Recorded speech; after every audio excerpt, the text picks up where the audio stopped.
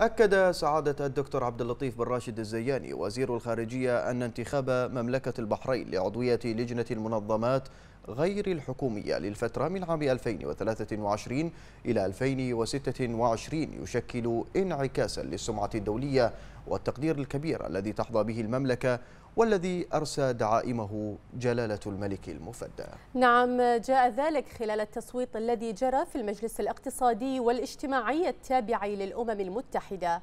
وأوضح سعادة وزير الخارجية بأن هذا الإنجاز يأتي في ظل خطوات وجهود متواصلة لمملكة البحرين في تعزيز احترام حقوق الإنسان على الصعيد الوطني والدولي.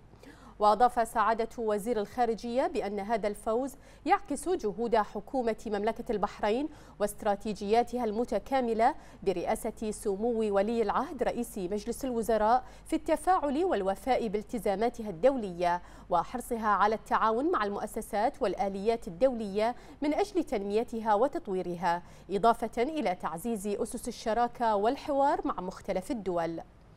وأكد سعادة الوزير بأن وزارة الخارجية ستواصل بكل عزم واقتدار دورها في مشاركة تجارب مملكة البحرين الرائدة ومنجزاتها الوطنية والحفاظ على المكانة العالمية التي تحظى بها في مختلف المحافل الدولية.